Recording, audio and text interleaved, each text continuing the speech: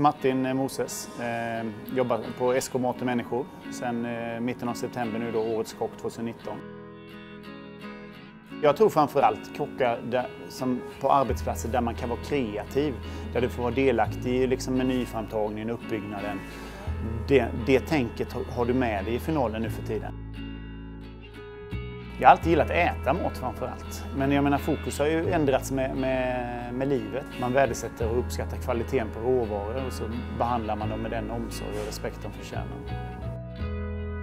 Jag tycker Göteborg har en väldigt bred krog, krogscen. Eh, det finns väldigt bra, många bra restauranger i mellanklasssegmentet. Och eh, liksom om man ska nämna några så är Natur och Bord 27, Grano, eh, även Vrå som satsar på ett jättehållbart koncept. De senaste åren har ju kaféutbudet utvecklats också med Borgskog och eh, Kalle som har öppnat Kompanillen eh, som, som breddade lite från den här vanliga, lite tråkiga fikakulturen. Vi har ju en lite unik grej också i Street Food Market på Lindholmen på lördagar som jag tycker absolut man ska besöka om man kommer som, under en helg. Det är ett koncept där man kan prova mycket spännande mat under samma, samma tak.